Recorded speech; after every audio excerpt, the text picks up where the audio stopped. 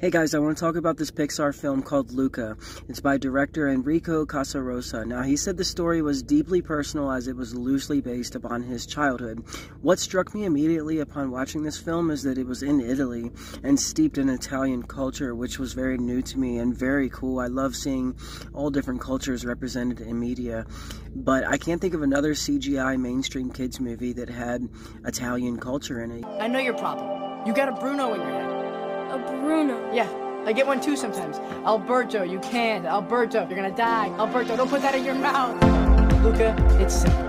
Don't listen to stupid Bruno. Now, this scene really hit me hard because I can really relate. You know, I think everybody has that voice inside their head, whether it's talking about being afraid of something or doubting yourself in any kind of way. So I think it's a really positive message. You know, there's a lot of good messages in this story, including, you know, being different but learning to accept yourself. Love you guys.